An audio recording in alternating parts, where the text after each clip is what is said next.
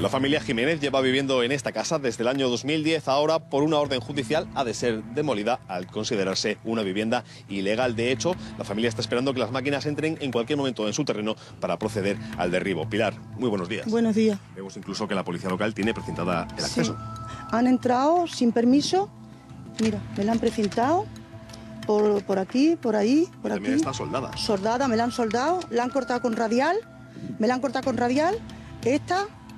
Y nosotros esperábamos que nos avisaran y no nos han avisado. ¿Cuánto tiempo hace de esta situación? 16 meses. 16 meses. Sí. Y para entrar me dices que también tuvieron que cortar la Me cerradura. tuvieron que cortar la otra que está allí. Vamos a ver. Ah, es cierto, aquí vemos que también tenemos la soldadura en la puerta, Ángel.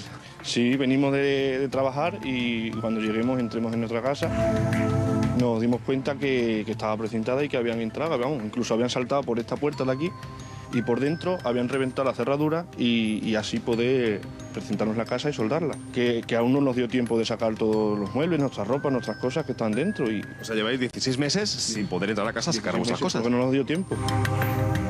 La propiedad se encuentra a más de 50 metros de la carretera y a más de 100 metros de la orilla del río, que es la distancia mínima que establece la Confederación Hidrográfica del Tajo para realizar cualquier construcción. Antonio, buenos días. Buenos días. ¿Vosotros qué pedís concretamente? Pues que se estudie el caso, porque como tú has dicho, estábamos a más de 50 metros de la carretera y a más de 100 metros del río. Y en suelos ya urbanizables Ya es desde, urbanizable desde que se Desde el aprobó el 2014. nuevo PGU. desde el 2014 que se, se aprobó.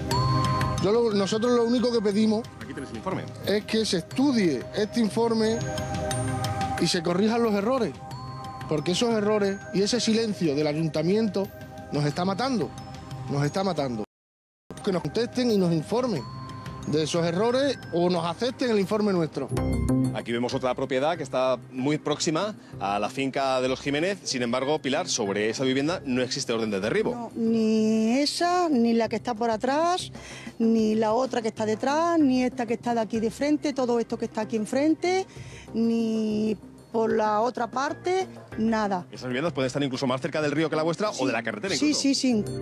Seguro que sí. Que quede claro, Pilar, que vosotros no pedís que se derrumbe ninguna casa. No, yo no quiero que se tire ninguna casa, ninguna casa, pero tampoco quiero que se tire la mía. Lo que yo quiero es que lo estudien, que lo estudien y que, que lo miren bien, que esto ya es organizable. Ángel, el caso está en manos de vuestro abogado y, de hecho, ha sido él quien ha emitido este informe. Sí, claro, eh, aquí en este informe mm, consta todos los posibles errores que ha cometido el ayuntamiento.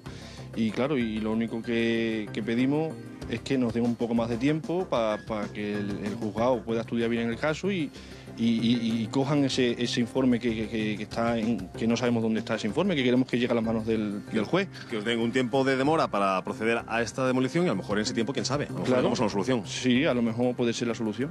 Porque lo único que queremos es que, que, es- que nos juzguen por, nuestros eh, por nuestros errores, no porque no lean lo- los informes que hemos mandado. La orden de derribo llega por parte del juzgado de lo penal. El Ayuntamiento de Plasencia simplemente sería el ejecutor subsidiario y, de hecho, ya ha destinado una partida de 12.000 euros para proceder a su demolición. Fernando Pizarro, alcalde de Plasencia, la familia Jiménez dice que el Ayuntamiento de Plasencia ha incurrido en varios errores a la hora de declarar ilegal su, su vivienda, su casa. Hombre, yo lo que podría decir es que evidentemente no, sobre todo porque el proceso penal en el que está establecido este, este asunto, el, el ayuntamiento no ha participado en ningún momento. Hemos sido, sin embargo, protagonistas de este asunto cuando el juzgado nos obliga al ayuntamiento como administración subsidiaria a derribar esa casa porque se han declarado insolventes sus propietarios. Por lo tanto, es nuestra participación en este, en este asunto. La familia Jiménez dice también que su vivienda ya se encuentra en suelo urbanizable. Sí, pero um, aunque es así, a través del Plan General del 15 aprobado, ese procedimiento no les exime de sus responsabilidades anteriores y en que en esa, en esa parcela se pueda construir legalmente todavía en la actualidad como está construida ilegalmente. Parece que existe voluntad por todas las partes de llegar a una solución satisfactoria que impida que esta familia pueda quedarse en la calle. Eso sí, mientras tanto, unos por otros, en la casa sin barrer. Veremos qué sucede finalmente.